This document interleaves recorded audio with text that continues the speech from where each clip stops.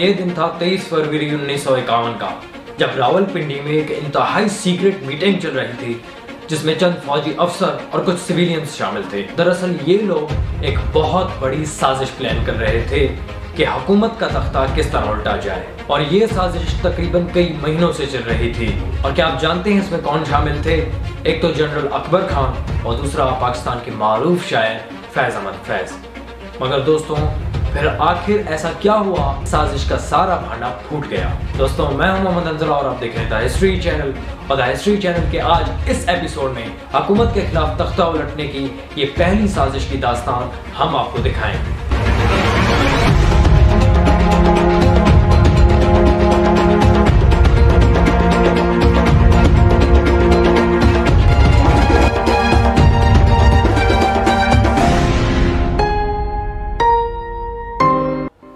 इस साजिश को पाकिस्तान की तारीख में रावलपिंडी कॉन्स्परेसी केस का नाम दिया जाता है।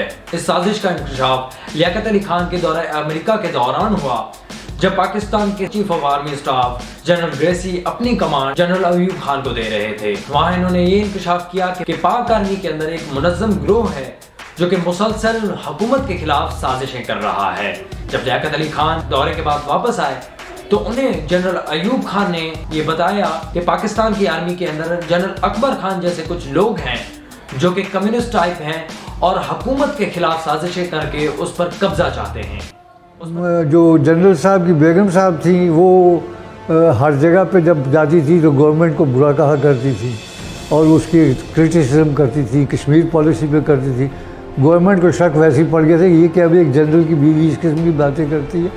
उन्होंने उनके ऊपर वो, वो सीआईडी लगा दी थी। और इनके भर के घर में एक दो सीआईडी के बंदे बतौर बैरा काम कर रहे थे। दरअसल इस साजिश के मरकजी किरदार जनरल मेजर अकबर खान का लियाकत अली खान के साथ कश्मीर की जंग के ऊपर बहुत बड़ा इख्तलाफ था। वो कहते थे कि पाकिस्तान ने इंडिया के साथ सीज फायर करके कश्मीर को इंडिया की झोली में डाल दिया है। क्योंकि जनरल अकबर खान कश्मीर की जंग में फौज की लीडिंग रोल थे जो कि कमांड कर रहे थे। जबकि पाकिस्तान के अंदर कम्युनिस्ट ग्रुप ये समझता था कि लियाकत अली खान के दौरे अमेरिका के बाद पाकिस्तान तेज़ी से अमरीकी ब्लॉक में शामिल हो रहा है। दरअसल इस साजिश की शुरुआत कुछ इस तरह हुई कि मेजर जनरल अकबर खान की बीवी नसीम अकबर खान का फैज अहमद फैज और सज्जाद जहीद के साथ ताल्लुकात काफ़ी अच्छे थे। जिसकी वजह से उन्होंने अपने शोहर अकबर खान और कुछ कम्युनिस्ट सिविलियंस और पार्टी के मेंबर्स के साथ इनकी मुलाकात करवाई, जिसके बाद इनकी मुलाकातें काफ़ी हद तक बढ़ी और इन लोगों ने हुकूमत के खिलाफ साजिश करने की ठान ली। इनका ये कहना था कि हम अगर हुकूमत का तख्ता उलट देते हैं तो पाकिस्तान के अंदर जो कम्युनिस्ट पार्टीज़ के ऊपर पाबंदियाँ लगी हुई हैं, वो ख़त्म हो जाएँगी और हम पाकिस्तान को अपने तरीके से कम्युनिस्ट स्टेट बना देंगे और रूस की जानब धकेल देंगे। सो इस तरह साजिश की पहली बैठक 23 फरवरी उन्नीस सौ इक्यावन को रावलपिंडी के अंदर हुई, जहाँ कुछ फौजी अफसर्स के साथ सिविलियंस भी शामिल थे। यहाँ मेजर अकबर खान और नसीम अकबर ने एक बहुत बड़ी दावत का इनका किया जहाँ मारूफ शायर फैज अहमद फैज, सज्जाद जहीर और मोहम्मद हुसैन अता शामिल थे। यह मनसूबा कुछ इस तरह तरतीब दिया गया था कि सबसे पहले Khwaja Nazimuddin governor general of Pakistan को गिरफ़्तार करके मजबूर किया जाना था कि वो लियाकत अली खान की हुकूमत को बरतरफ कर दें और फिर एक अबूरी हुकूमत की तश्कील का ऐलान करें। गवर्नर जनरल और प्राइम मिनिस्टर, दोनों उस महीने आने वाले थे, वो तब तो कराची कैपिटल था ना। यहाँ से वो पिंडी आ रहे थे। तो जनरल अकबर का ये प्लान था कि जब वो आएँगे तो उनको गिरफ़्तार कर लिया जाए। और गवर्नर जनरल से गवर्नमेंट को डिज़ोल्व करने का ऑर्डर निकलवाया जाए। और उसकी वो, उसको वो गवर्नमेंट को डिज़ोल्व करे। और इंटरिम एक गवर्नमेंट जिस तरह होता है मिलिट्री गवर्नमेंट को, वो, उसकी जगह पे उसको कॉन्स्टिट्यूट किया ये लेकिन दोस्तों, ये साजिश आखिर कब तक चलनी थी? क्योंकि इनके पीछे पहले से ही सीआईडी लगा दी गई थी। सो इसका इंकशाफ किसी और ने नहीं, बल्कि उस वक्त के पाकिस्तान के chief of army staff general Ayub Khan ने खुद वज़ीर अजम लियाकत अली खान के रूबरू कर दिया, जिसके बाद इस साजिश का सारा भांडा फूट गया।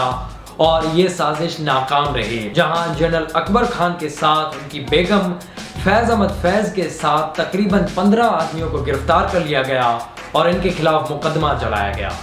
चुनाचे सबसे पहले जो पकड़े गए, चार बंदे पकड़े गए। चार बंदों को गिरफ़्तार किया गया। एक जनरल अकबर खान हिमसेल्फ एक उनकी बेगम साहबा, एक ब्रिगेडियर लतीफ़ थे कोयटा के। उनको पकड़ा क्योंकि वो पता नहीं क्या है, उसकी अहमियत उनको उन्होंने समझी ज़्यादा कि है है यहाँ पे। और फैज़ अहमद फैज़, ये चार जो नुमाया बंदे तो पहले गिरफ़्तार हुए। ये था कि उस वक्त कुछ लोग हमारे कम्युनिस्ट थे, जिसमें सबसे मशहूर फैज़ा भी थे। मगर एक जनरल जंजुआ होते थे, अकबर जंजुआ था शायद उनका नाम। और भी फौजी थे। वो चाहते थे कि वो टेक ओवर करके तो पाकिस्तान को रूस के साथ मुलवस करके तो कम्युनिस्ट स्टेट बनाते तो वो हुआ ये कि जनरल जंजुआ की बीवी ने एक पार्टी पे ज़्यादा बोल दिया तो पता चल गया ये साजिश। दोस्तों, हुकूमत ने एक खास एक्ट पास किया, जिसे Rawalpindi conspiracy case special tribunal act कहा जाता है, जहाँ तीन जजेस के ऊपर मुबनी एक ट्रिब्यूनल कायम किया गया। और इस केस की सुनवाई हैदराबाद सेंट्रल जेल के अंदर शुरू की गई जहाँ जेल के अंदर अदालत कायम की गई। केस की पहली सुनवाई उन्नीस सौ इक्यावन पंद्रह जून को शुरू हुई, जहाँ मुलजमान की वकालत हुसैन शहीद सौरवर्दी, जो कि अवामी मुस्लिम लीग के सदर थे, उन्होंने की।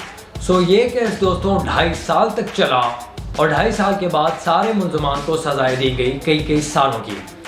लेकिन दोस्तों, यहाँ एक छोटा या आप कह सकते हैं बहुत बड़ा हादसा भी हुआ। हुआ कुछ यूँ कि जो एक्ट इस कॉन्स्परेसी केस के लिए पास किया गया था, रावलपिंडी कॉन्स्परेसी एक्ट लीगल तौर पर जारी करने के लिए ख्वाजा नाजुमुद्दीन गवर्नर जनरल का दस्तखत चाहिए था, जो कि इतफाकिया तौर पर या कह सकते हैं कोताही की वजह से नहीं मिल सका।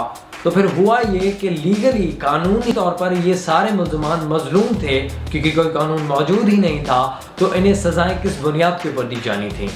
इसके अलावा भी दोस्तों, उन्नीस सौ पचपन, छप्पन में हुसैन शहीद सौरवर्दी ने एज अ लॉ मिनिस्टर अपना इन्फ्लुएंस भी यूज़ किया और इन सारे मुलजमान को एमनेस्टी देकर रिहा कर दिया गया। पिंडी कॉन्स्परेसी केस का स्पेशल ट्रिब्यूनल एक्ट पास किया था आज पार्लियामेंट ने। उसको गवर्नर जनरल का एसेंट मिलना होता है कि वो नहीं दिया था गवर्नर जनरल भूल गए ये क्या? एक फ्लॉ लीगल फ्लॉ ये एक उजर भी जैसे बनता है। It had not receive the assent of the governor general लेकिन बाद में सोरोवर्दी ने एज ए लॉ मिनिस्टर अपना इन्फ्लुएंस यूज़ करके कहा कि ये वो देखो लीगल फ्लॉज भी हैं ये भी हैं इन लोगों को एमनेस्टी तो छोड़ो उसको यू एबल टू गिव तो जनरल फिर एमनेस्टी डिक्लेयर की गई एमनेस्टी में सब कुछ छोड़ दिया। यूँ कौमी ज़िंदगी में तहलका और सनसनी फैलाने वाले रावलपिंडी कॉन्स्परेसी केस के सारे मुलजमान 1955 में रिहा कर दिए गए। 15 मुलजमान में से कई लोग हिंदुस्तान चले गए और कई लोग कम्युनिस्ट ग्रुप में शामिल हो गए। इसके अलावा मरकजी किरदार मेजर जनरल अकबर खान 1972 में जुल्फकार अली भुट्टो के चीफ सिक्योरिटी एडवाइजर बन गए। फैज अहमद फैज इस जेल की रिहाई के बाद अपनी तहरीक में आगे चल पड़े। चूँकि फैज अहमद फैज शुरू से ही इस साजिश के तरीकेकार से पहले से ही इख्तलाफ रखते थे। बहरहाल सारे अपनी मंजिलों की तरफ़ गामजन हो गए। लेकिन दोस्तों, इसके बाद क्या हुआ? वज़ीर आज़म लियाकत अली खान को दिन दहाड़े कत्ल कैसे कर दिया गया? लियाकत अली खान के केस की तफ्तीश इंतहाई गैर संजीदगी से आखिर क्यों की गई? और वजारत का कठपुतली तमाशा कैसे शुरू हुआ? ये सब आपको दिखाएँगे, लेकिन द हिस्ट्री ऑफ़ पाकिस्तान की अगली किस्त में। इससे पहले आप सबसे गुजारिश है कि द हिस्ट्री चैनल को सब्सक्राइब करें, इसे लाइक करें, शेयर करें। आपको डिस्क्रिप्शन में और भी बहुत सारी अमेजिंग वीडियोस मिल जाएँगी आप उनके ऊपर क्लिक करके ज़रूर देखें। इनशाला ऐसी इंटरेस्टिंग अगली वीडियो में आप लोगों के साथ मुलाकात होगी। तब तक के लिए अल्लाह हाफिज़।